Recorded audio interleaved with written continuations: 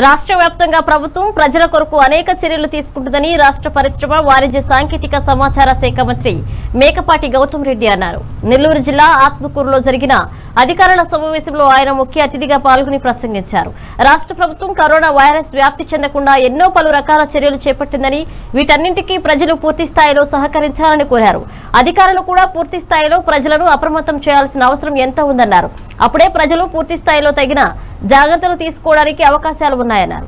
అధికారులు తమ పరిధి కూడా అవసరమైతే దాటి ప్రజలకు అన్ని విధాల సేవలు అందించాల్సిన అవసరం ఉందన్నారు. ముఖ్యమంత్రి జగన్మోహన్ రెడ్డి చేపట్టిన ఎన్నో చర్యల వల్ల అన్ని రాష్ట్రాల కంటే మన రాష్ట్రంలో తక్కువ స్థాయిలో కరోనా బాధితులు ఉన్నారని చెప్పారు. రాష్ట్ర పరిశ్రమ వాణిజ్య సాంకేతిక సమాచార శాఖ మంత్రి మేకపాటి గౌతమ్ రెడ్డి. ఏంటంటే ఆంధ్రప్రదేశ్లో entry exit point for international travels లేదు కాబట్టి సో ప్రైమరీ ఇన్ఫెక్షన్స్ మనకి కొంచెం రాలేదు కాబట్టి. అందుకని మనం కొంచెం ఏర్పాట్లు తొందరగానే అంటే కొంచెం ఇమీడియట్గా ప్రొయాక్టివ్గా చేసే చేయగలిగాం కాబట్టి. కానీ దురదృష్టం ఏంటంటే ఎక్కడో ఢిల్లీలో జరిగిన ఒక మీటింగ్లో ఆ, ఆ మీటింగ్లో జరిగిన వల్ల ఈరోజు దేశం మొత్తం కూడా ఆ ఇన్ఫెక్షన్స్ కొంచెం పెరిగే అవకాశం ఉన్నాయి. దాని భాగంగా ఈరోజు మనం నెల్లూరు జిల్లాలో దాదాపు నూట నాలుగు మందిని ఐడెంటిఫై చేయటం జరిగింది.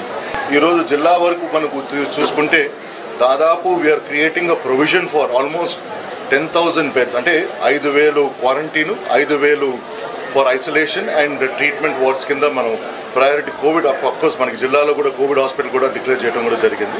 అండ్ ఎస్పెషలీ మనకి మరిపాడు మండలంలో ఎక్కువ ఫారెన్ రిటర్నీస్ వచ్చిన వల్ల మరిపాడు మండలం వరకు లాక్డౌన్ చేసాం పూర్తిగా ఎవరు బార్డర్ నుంచి ఇటు మండలం నుంచి అటు బయటకు కానీ బయట మండలం నుంచి లోపలికి పోయేదానికి రాకుండా ఏఎస్పేటలో దర్గాకు వచ్చిన ఎవరెవరు పిల్గ్రిమ్స్ ఉన్నారో వాళ్ళకి కావాల్సిన ఏర్పాట్లు వాళ్ళకి కావాల్సిన ఏంది ఆ హోమ్లెస్నెస్ ఎవరు ఉన్నారో వాళ్ళకి అలాగే ఇల్లు ఇచ్చి దాంతోపాటు అన్ని సహకారాలు అంటే అన్ని ఫుడ్ ఏర్పాట్లు కానీ ఎసెన్షియల్ గుడ్స్ ఏర్పాట్లు కూడా రాజీవ్ వారు మిగతా వాళ్ళందరూ కూడా ఏర్పాటు చేసి వాళ్ళందరికీ కూడా రోజు రోజున వాళ్ళు వెల్ఫేర్ చూసుకుంటున్నారు.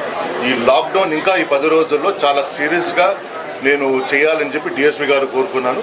తప్పనిసరిగా నేను ఆత్మకూరు ప్రజలు కూడా కోరుకునేది ఏంటంటే ఈ పది రోజులు మాత్రం మీరు దయచేసి ఈ లాక్డౌన్ సోషల్ డిస్టెన్సింగ్ మాత్రం మీరు ఎంత గట్టిగా పాటిస్తే మనకి అంత తొందరగా మనకి వైరస్ తరం కొట్టే అవకాశం ఉంది. మిమ్మల్ని అందరికీ దానికి సహకరించినందుకు మిమ్మల్ని అందరికీ కూడా ధన్యవాదాలు తెలుపు